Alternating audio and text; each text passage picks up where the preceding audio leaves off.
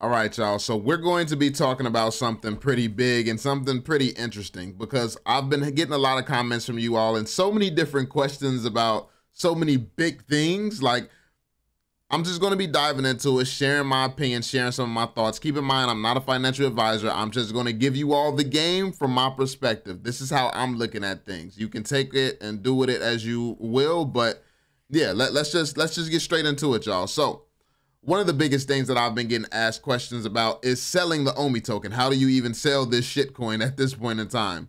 Now, I'm not sure. You you could probably do it through Coinbase Wallet. Um, that's how I've bought them. So I'd assume that I could send them back there and try to sell maybe. And the the fees probably going to be crazy though. But um, I don't know. I wouldn't. I I personally wouldn't be selling right now. I haven't sold any OMI not since what years ago when I sold to start my business and all that I did years ago. I I, I have not sold any OMI since then. I've only bought and um and stored it away. So yeah, I, I couldn't tell you how to um sell OMI. I haven't attempted to try, um, not recently anyways. But I will say this. I know it's a lot of people who are losing faith in the project and who's losing faith um basically in in this uh this thing's ability to go anywhere at all. I, I will say this, however. I think that let's look at it from the worst case scenario, right?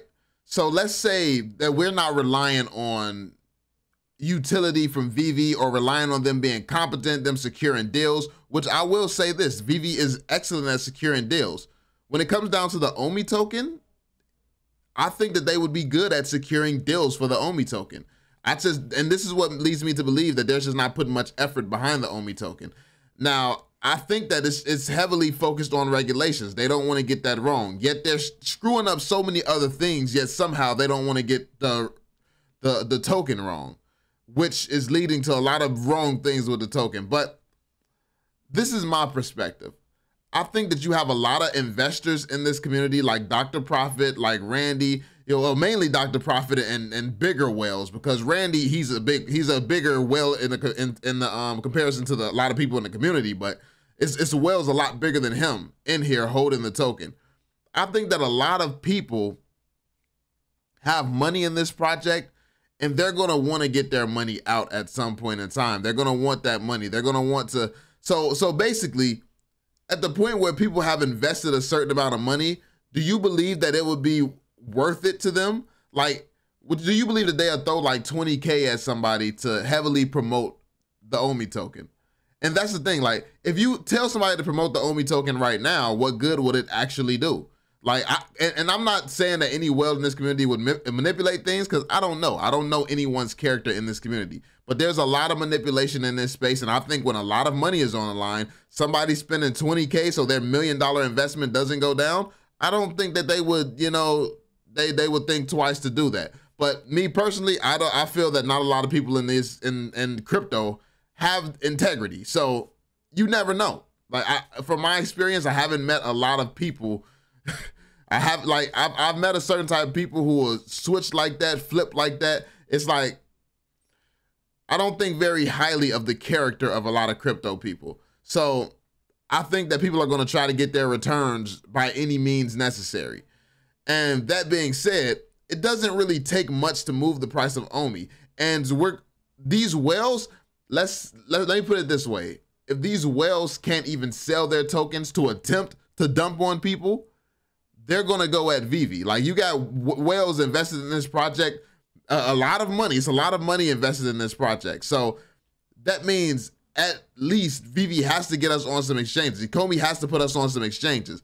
Now, hopefully, there are going to be some good exchanges. There are going to be some top tier exchanges. But once we get put on those exchanges, we can expect some type of decent returns, I, would say. I think that it'll be hype. I think that with the buzz of the metaverse and Web3 and things like that, metaverse tokens, I think that's that's type of stuff is going to pop off at some point. So trying trying to sell or wanting to sell right now when things are at as low as we don't even know how to sell because there's not many exchanges. I think that this is a horrible strategy.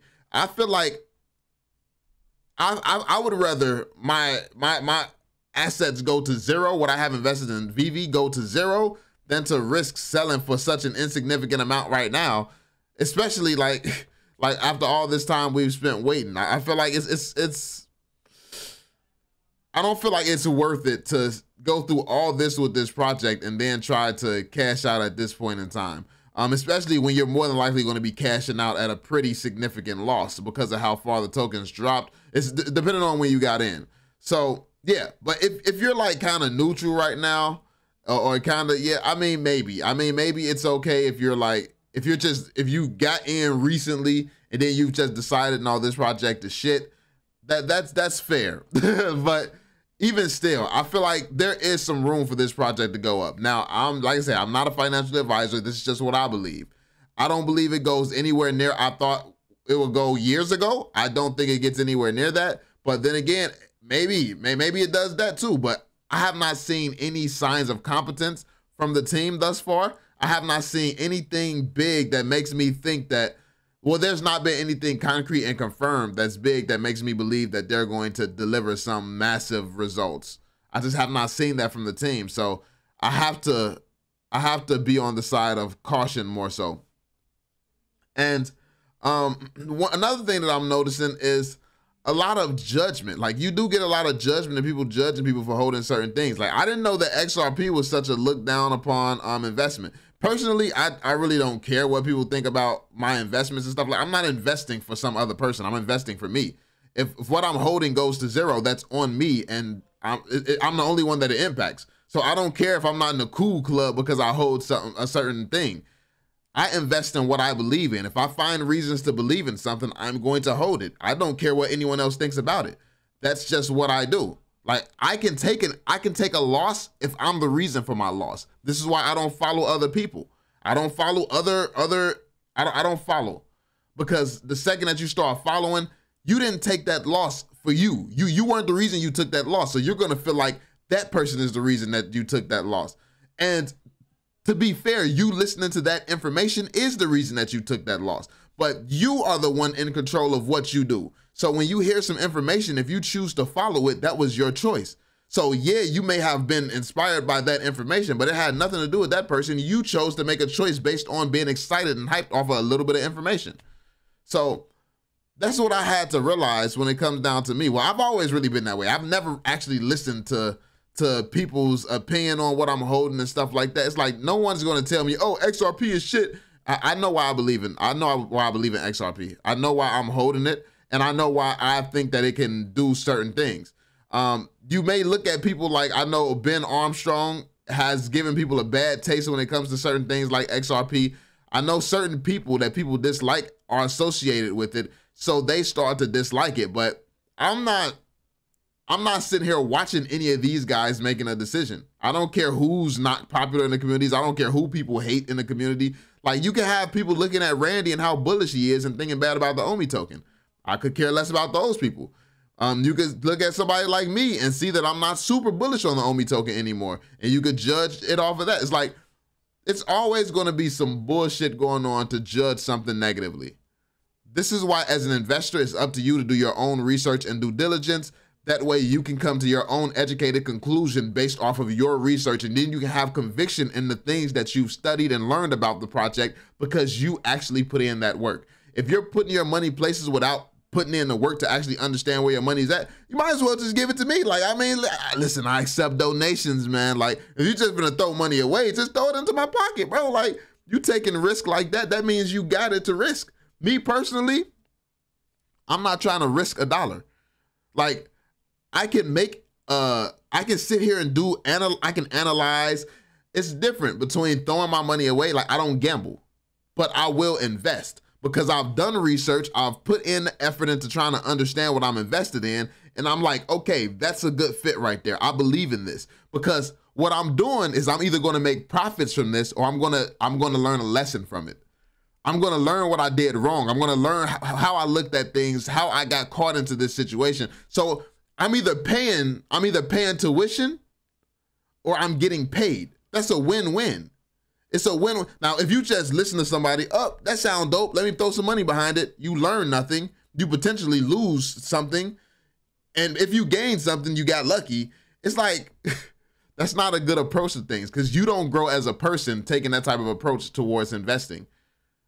The only way to be a, a strong investor is if you actually are making your decisions And if things go wrong, you can learn from what you did that led you into that situation. If what you did was just listen to someone, yeah, you're going to learn you probably shouldn't listen to someone, but what else do you actually learn from that? It's like you you can't learn anything. You it, it wasn't your evidence and your conviction that got you to the to the point where you had to purchase something. So yeah, at this point, I'm just really I'm just really reiterating the same thing, but the fact of the matter is this, bro. When it comes down to investing in the things that you hold, everyone's going to have an opinion. And when it comes down to life, everyone is going to have an opinion. People are going to have an opinion if you're doing good. People are going to have a different opinion if you're doing bad. People will always have an opinion. So why put so much stress and effort into what people think when you could just really work your hardest, grow every single day, do your best. Try every single day to one up yourself. Once you start to push the external bullshit away and start to really live a life focused on daily improvement of self and daily growth and and and, and that's in every way. Health mental like financial everything. Like once you start to put that effort into yourself and growing like you'll slowly start to see growth. It's not a it's not a quick journey but it's not supposed to be. But it should be an enjoyable journey because every single day you get to see what you're made of. And every single day you get to see that you're made of more than you thought you were made of just yesterday.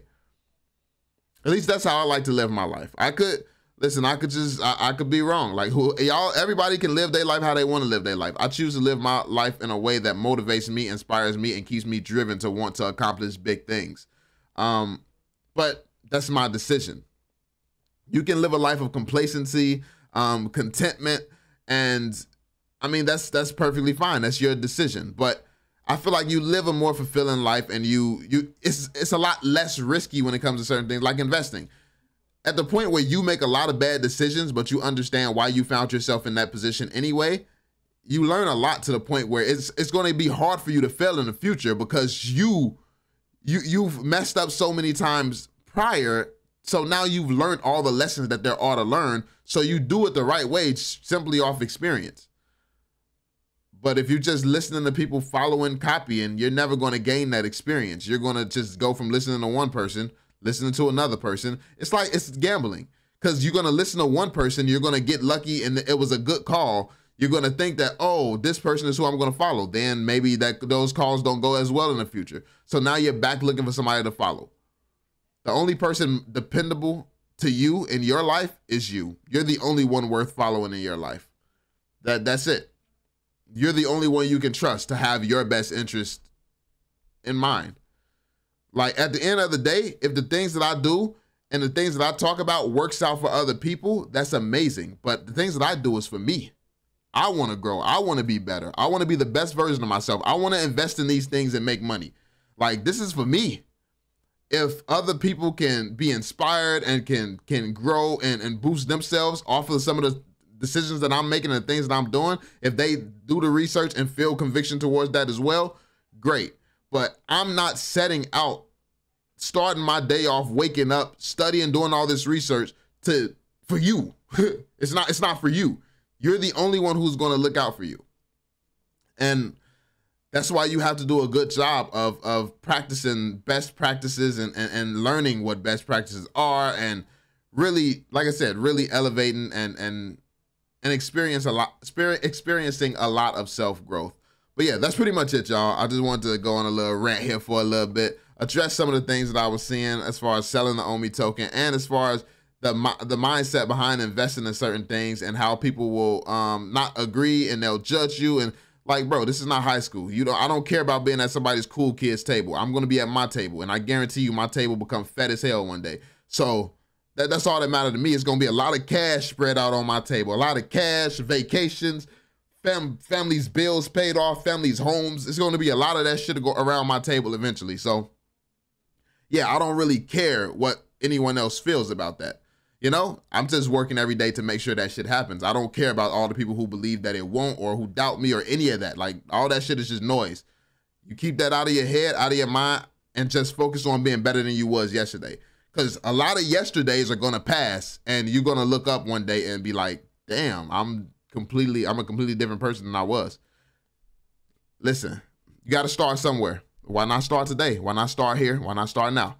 Um, that's pretty much it, y'all. Be sure to drop that thumbs up, subscribe, and turn on notifications, and I'll catch y'all on the next one. Peace out, y'all.